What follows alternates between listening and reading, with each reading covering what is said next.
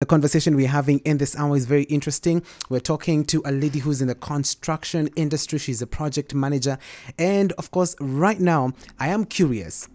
Racheal, I just want to know what are some of the challenges that you've had to encounter throughout this 15 years of being in this male dominated uh, industry, this space that is that has so many men doing it?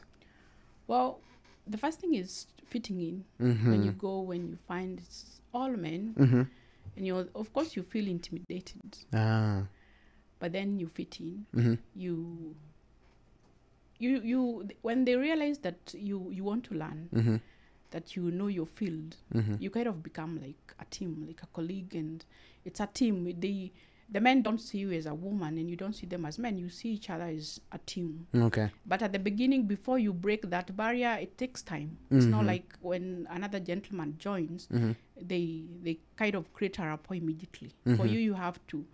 They kind of watch you from a distance, Mm-hmm. and then you have to your presence, and then you have to prove that you know what you're doing. Yes. You you want to learn also from them, Mm-hmm. and then I think they they also feel that you're not a threat. Mm-hmm. You're there to work, and you have a career just like them, and then they embrace you, and you're a team. Yes, interesting. Uh, are there instances where you felt discouraged working with uh, men mostly, being in a space that is dominated by them? Well, there are those instances where, of course, they will outrightly attack you as a woman. Mm-hmm. But since it's not because you've gone there because it's it's it's a particular field for men or women, it's Mm. it's a field that you love. It's a career you you you want you you have a passion about. Mm-hmm. Some of those things don't deter you really. Ah, yes. Because you know what are your goals, what are my expectations, what are wh- why am I here? Mm. Is it because somebody pushed me to be here, or is it because I love to be in the construction? Okay. And when you know that you you encourage yourself Mm-hmm. you don't give up sometimes things are tough you feel like you don't want to go back you want to run away you want to change the career mm-hmm. but if that is where your heart is Yes. you you face whatever challenge that comes when you say this is where your heart is, uh, let me just ask this this very you know curi- uh, question out of curiosity. Did you have like a plan B? You were like, if this one does not work, this is what I'm going for. Did you ever have like a plan B? when i got into the into college Mm-hmm. there was i was going to the built environment i didn't know exactly where there's architecture or civil or Mm-hmm. interior design or surveying so i chose building and Okay. construction Yes.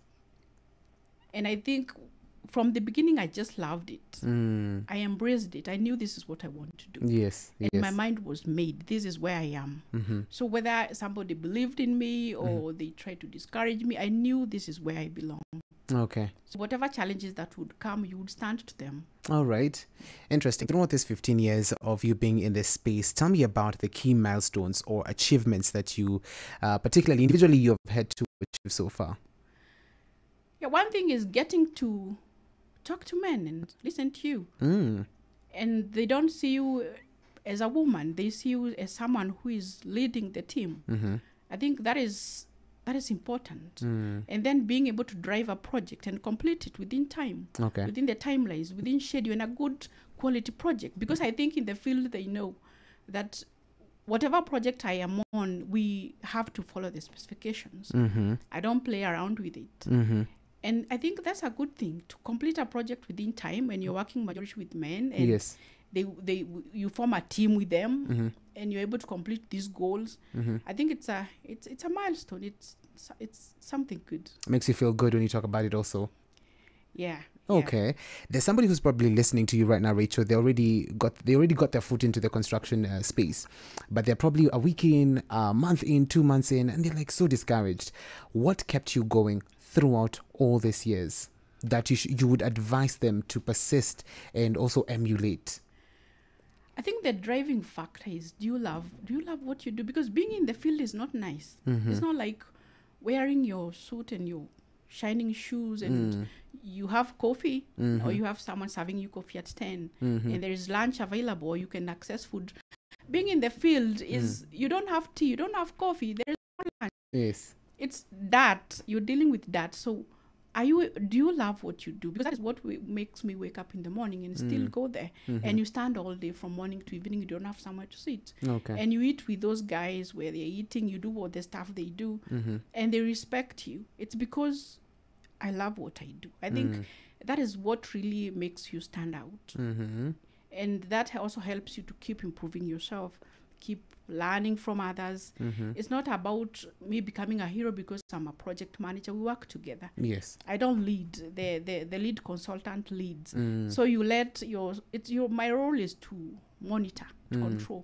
So for me, for them, they know they lead. Mm-hmm. I mine is to control. Okay. It's to monitor them, ensure that everyone meets their their goals. Mm-hmm. The milestones are met. Mm. The budget is under control. Okay. That's it's it's like I'm a police. So for them, a police who doesn't arrest. like nice way to put it. yes. That's very interesting. We're going to come back in a bit.